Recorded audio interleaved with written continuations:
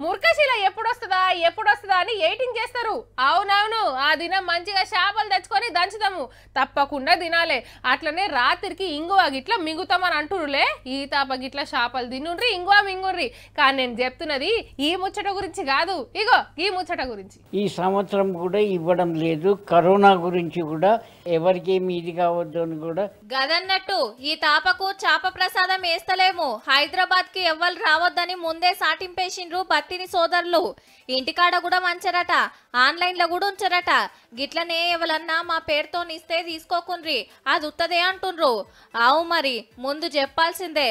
ముర్కశిల నాడు చాప ప్రసాదం మింగితే ఉబ్బసం రోగం నయమైతదని కొందరికి నమ్మిక. ఏండ్ల సంధి నడుస్తుంది ఈ కార్యం. నాంపల్లి మైదానంలా సకల సవలతులు సర్కారే చేస్తుండే. మనోళ్ళే కాదు ఆంధ్ర కర్ణాటక మహారాష్ట్ర మధ్యప్రదేశ్ బీహార్ ఢిల్లీ ఇట్లా ఆరేడు రాష్ట్రాలకెళ్ళి శీతం వస్తారు ప్రతి తెల్లారి ఇంటికాడిచ్చేటోళ్ళు. అయితే ఈ తాపకు పరిస్థితి మంచిగా లేదాయే వైరస్ చేయబట్టికే మళ్ళా లాక్డౌన్ ఒట్టి నడవబట్టే పబ్లిక్ గుంపులు గుండొద్దాయే. కొర్రమట్ట పిల్లలు నోట్లేయాలనాయే. ఎక్కడెక్కడికెళ్ళో వస్తారు. ఎవరి పరిస్థితి ఏందో తెలియదు గందుకే చాప ప్రసాదం ఇస్తలేరు. ఈ ముచ్చట దేశమంతా ఎరక కావాలని ముందే ప్రచారం చేస్తున్నట్టు. నిరుడు సుతా గిట్లనే ఉండే.